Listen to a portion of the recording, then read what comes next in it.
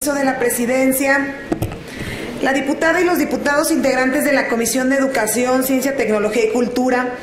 ante la 62 segunda legislatura del Congreso del Estado y con fundamento en lo dispuesto en los artículos 56, fracción segunda de la Constitución Política para el Estado de Guanajuato y 146, fracción segunda de la Ley Orgánica del Poder, del Poder Legislativo del Estado Libre y Soberano de Guanajuato, nos permitimos someter a consideración de la Asamblea la siguiente iniciativa con proyecto de decreto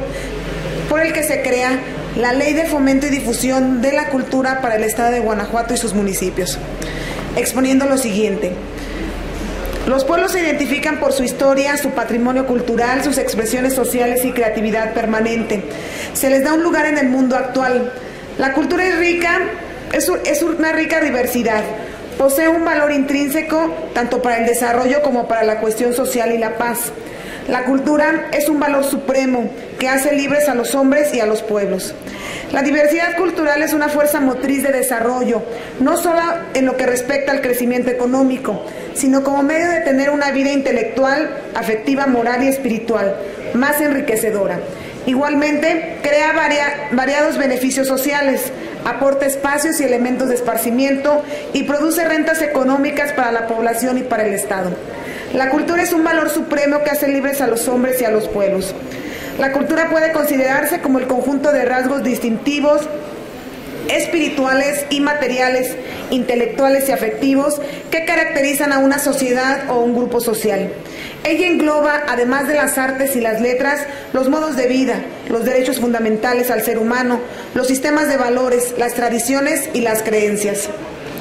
Al reunirse en México la Conferencia Mundial sobre Políticas Culturales en México el 26 de julio, al 6 de agosto de 1982, la comunidad internacional decidió contribuir efectivamente al acercamiento entre los pueblos y a la mejor comprensión entre los hombres. Por consiguiente, la conferencia afirma solemnemente los principios siguientes que deben regir las políticas culturales. Una, cada cultura representa un conjunto de valores único e irreemplazable, ya que las tradiciones y formas de expresión de cada pueblo constituyen su manera más lograda de estar presente en el mundo. Dos, la afirmación de la identidad cultural contribuye, por ello, a la liberación de los pueblos. Por el contrario, cualquier forma de dominación niega o deteriora dicha identidad. Tres, la identidad cultural es una riqueza que dinamiza las posibilidades de realización de la especie humana, al movilizar a cada pueblo y a cada grupo, para nutrirse de su pasado y acoger los aportes extremos, externos compatibles con su idiosincrasia y continuar así el proceso de su propia creación. Todas las culturas forman parte del patrimonio común de la humanidad. La identidad cultural de un pueblo se renueva y enriquece en contacto con las tradiciones y valores de los demás. La cultura es diálogo, intercambio de ideas y experiencias, apreciación de otros valores y tradiciones. Se agota y muere en aislamiento. Lo universal no puede postularse en abstracto por ninguna cultura en particular. Surge de la experiencia de todos los pueblos del mundo, cada uno de los cuales afirma su identidad. Identidad cultural y diversidad cultural son indisociables. La comunidad internacional considera su deber velar por la preservación de toda defensa y de la identidad cultural de cada pueblo. Todo ello invoca políticas culturales que protegen, estimulen y enriquezcan la identidad y patrimonio cultural de cada pueblo.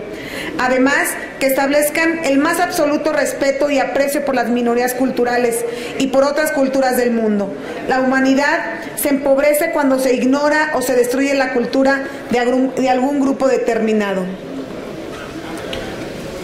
La última reforma constitucional federal vinculada a la cultura fue efectuada en abril del 2009 al artículo cuarto para reconocer y garantizar los derechos de todas las personas al acceso a la cultura,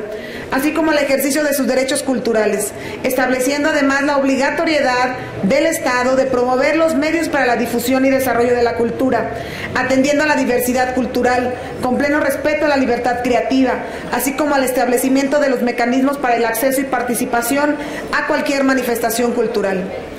En consecuencia, este Congreso tuvo a bien reformar el sexto párrafo del artículo tercero de nuestra Constitución Política en el Estado, para hacerla acorde a la Carta Magna y de igual forma reconocer el derecho de los guanajuatenses al acceso a la cultura y al disfrute de los bienes y servicios que presta el Estado en la materia, así como el ejercicio de sus derechos culturales, reforma que se publicó el 28 de febrero del 2014.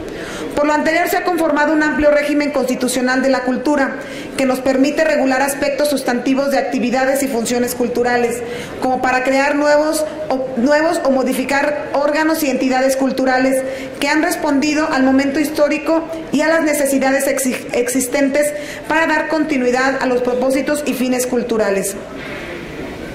Aunado a lo anterior, el artículo 120 de nuestra Constitución Federal señala la obligación de los gobernadores de los estados de publicar y hacer cumplir las leyes federales, texto que en un acto de plena buena fe podría vincularse al contenido del artículo cuarto señalando en líneas iniciales y entender que efectivamente le corresponde a las entidades federativas reconocer en cada individuo su derecho al acceso a la cultura y al disfrute de los bienes y servicios que en el Estado presta en la materia, así como el ejercicio de sus derechos culturales. En 1992 se expidió la Ley de Fomento a la Cultura para el Estado de Guanajuato y con ello se dio vida al organismo estatal encargado de la cultura escindiendo en ese entonces a la Secretaría de Educación, Cultura y Recreación. Sin embargo, algunas actividades culturales no fueron contempladas, tales como la promoción de la industria cultural y el fomento a la lectura, entre otros, motivo por el cual es necesario dar vida a un nuevo ordenamiento que dé vigencia efectiva a los mandatos constitucionales mencionados anteriormente, mismos que fueron creados con posterioridad para alentar, impulsar, promover y difundir la cultura, entendida esta en su más amplio y universal concepto. Por otra parte, ha transcurrido más de dos décadas desde que se dio vida a la vigente ley de fomento a la cultura para el Estado de Guanajuato, tiempo por el cual consideramos pertinente crear un ordenamiento legal específico que lleve a la práctica estos postulados constitucionales y que permita, como se dijo antes, cumplir la obligación del Estado de alentar el fortalecimiento y difusión de nuestra cultura, estableciendo para tal fin los principios bajo los cuales el gobierno del Estado orientará sus acciones de apoyo y los instrumentos y mecanismos que se requieran para la coordinación interinstitucional, así como para dar cauce y alentar la participación ciudadana y de los distintos sectores vinculados a la cultura. Asimismo, para lograr transparencia y eficacia en el ejercicio de sus funciones. Esta iniciativa se basa en un profundo respeto a los principios rectores vinculados a la cultura que emanan de la Constitución, así como los que derivan de los compromisos internacionales suscritos por el Estado mexicano y a la distribución competencial que se establece para las materias vinculadas a la cultura. Enriquecen a la presente aquellas propuestas presentadas por legisladores de las diversas fracciones parlamentarias, con las cuales convergen inquietudes y el objeto común de la preservación, desarrollo y fomento cultural, así como la regulación de la, de la organización y funciones del órgano estatal que corresponde a la cultura.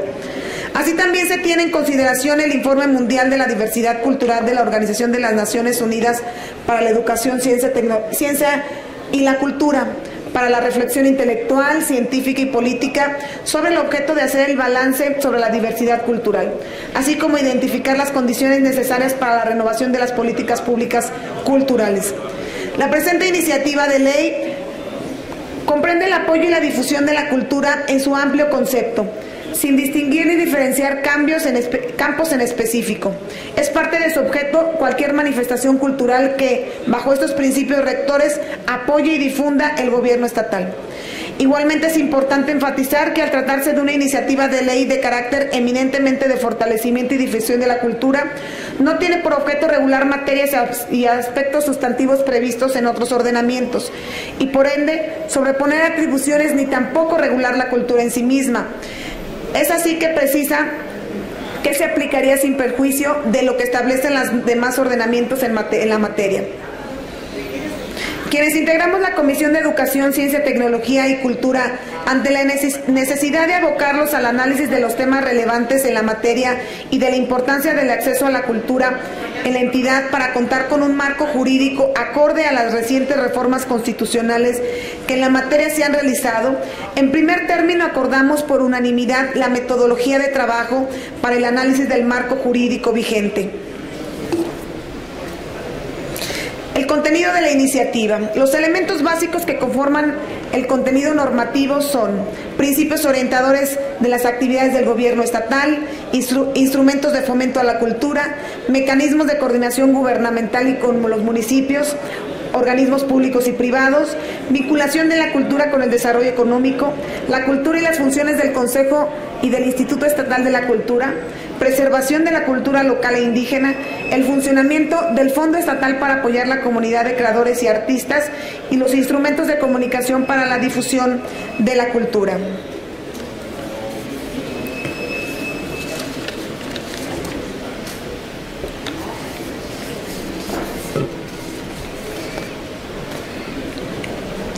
Finalmente, un aspecto relevante de esta iniciativa es la promoción de nuestra cultura, la utilización de los medios de comunicación del Estado para difundirla. Por todo lo antes expuesto y, fundado, la diputada y los diputados integrantes de la Comisión de Educación, Ciencia, Tecnología y Cultura nos permitimos someter a la consideración del Pleno la siguiente iniciativa. Decreto de la Ley de Fomento y Difusión de la Cultura para el Estado de Guanajuato y sus municipios, que estaremos, que ya está a disposición de la mesa directiva. Solicito se